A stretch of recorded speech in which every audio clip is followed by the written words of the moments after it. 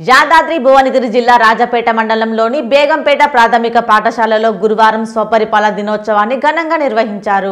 ఈ సందర్భంగా ఎంఈఓ జంగిడి కృష్ణ మాట్లాడుతూ ఇలాంటి కార్యక్రమాల ద్వారా చిన్నతనం నుండే విద్యార్థి విద్యార్థులను ఉపాధ్యాయులపై గౌరవ భావం ఏర్పడడంతో పాటు జీవితంలో ఉన్నత స్థానం చేరుకోవాలనే సంకల్ప బలం వస్తుందని అన్నారు.